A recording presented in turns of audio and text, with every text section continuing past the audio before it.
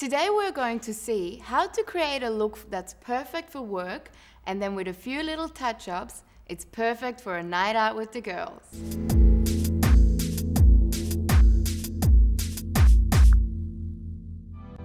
Ever had one of those days when you're always on the go? From work to a night out and no time to get back home? It's a 24 hour look that we are going to create today.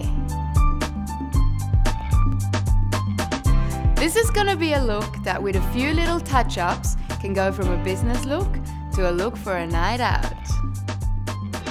We start with a light foundation, something that will look fresh throughout the day with little fuss.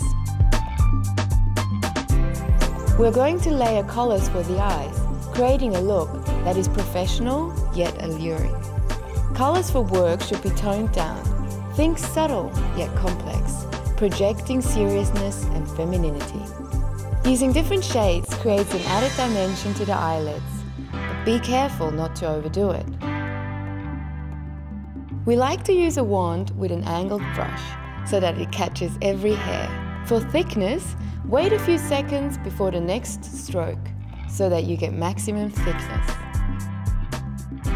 With the eye pencil, draw strokes in a single direction and then brush outward to distribute the product evenly. For the eye makeup, always use colors that complement your outfit. With the lips, you can be a little bit more playful.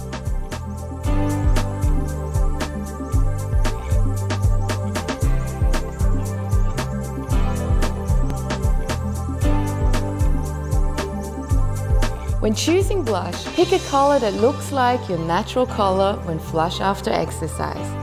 Just a touch. You don't want to look like a clown, especially at the office. Work is done. Now it's time to play. All you have to do to change that look is intensify the colors around your eyes and lips. For going out, you'll want to have your eyes stand out even in a dark place. Wipe the old color clean and reapply. Since you're going to party, have a little fun with it.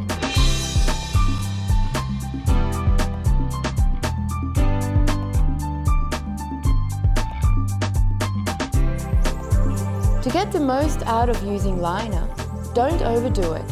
Extend the line the length of the eye following the crease.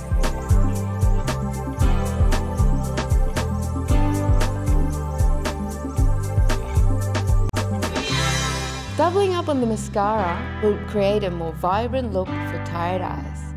After a long day at work, you don't want to be looking droopy on your night out. When going out at night, change to darker colors, apply it more heavily. Choose either your lips or your eyes as the point of emphasis. Add a bit of gloss as the thickest part to plump up your lips, making them fuller and more attention-grabbing. And freshen up that blush.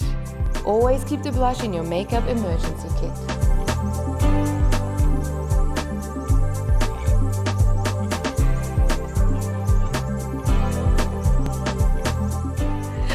We have darkened the eyes with grey eyeshadow and a dark eyeliner. And we've added a natural lip color with extra gloss. Now we're ready to go and party.